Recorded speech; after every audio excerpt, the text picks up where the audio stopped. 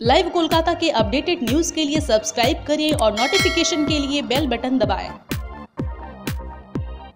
आयकर दफ्तर की तरफ़ से पश्चिम बंगाल की बड़ी बड़ी दुर्गा पूजा पंडाल कमेटियों को अपने अपने खर्चों के हिसाबों की जाँच पड़ताल की जा रही है इसी सिलसिले में शुक्रवार को बहला नूतन दल शिव मंदिर पूजा कमेटी संतोषपुर त्रिकोण पार्क शोभा बाजार सार्वजनिक पूजा कमेटी जैसे कुछ पूजा कमेटियों को आयकर दफ्तर की तरफ से बुलाया गया था पूजा कमेटियों के बढ़ते बजट को लेकर अब कमेटियों की तरफ से पैसों से जुड़े मामले में अलग से हिसाब रखने की बात कही गई है करीब 340 पूजा पंडाल हैं। आयकर दफ्तर की तरफ से साल 2018 से ही ये नियम चालू करने की बात कही जा रही थी ওরা পুজো কমিটিগুলোকে কিছু করতে চাইছে না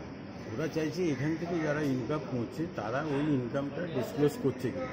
দেখাচ্ছে কিনা ইনকামে দেখাচ্ছে কিনা, এটাই ওদের হচ্ছে মেন বক্তব্য। মানে পুজো কমিটিকে না হ্যারাস না কিংবা না, এসবের না, কোনো- না, এইসবের কোনো ব্যাপার নেই ওরা চাইছে যে যাদের আপনি এত এত টাকা পেমেন্ট করছেন তারা তাদের ইনকামে ওটা ডিসক্লোজ করছে पूजा कमेटियों का आरोप है कि आखिर साल 2018 में पूजा कमेटी की तरफ से जिन जिन लोगों को पैसा दिया गया है उनसे कैसे टैक्स लिया जा सकता है এখন বললেন না আঠেরোটা উনি বললেন যে আঠেরোর কি পেমেন্ট করেছেন না করেছেন সেই লিস্টটা যদি দেয় সেটা আমরা মানে এখনও রাজি হইনি কিন্তু আমরা জোর দিচ্ছি যে উনিশ কুড়ি সব পুজো কমিটিকেই আমরা বলছি যে উনিশ কুড়ি সকলেই বলছি। কারণ এই মুহূর্তে অনেক তো পেমেন্ট হয়ে গেছে আমার কাছে আমি টিডিএসটা করব কি করে? আপনাকে যে টাকাটা দিচ্ছি সেটা থাকলে তার থেকে তো করব।